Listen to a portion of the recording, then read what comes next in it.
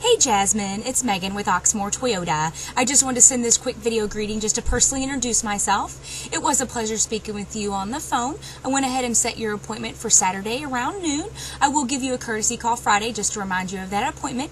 At any time that you do need to reschedule, please just give me a call at 502 214 7197 and I'll talk to you on Friday. Have a great night. Bye.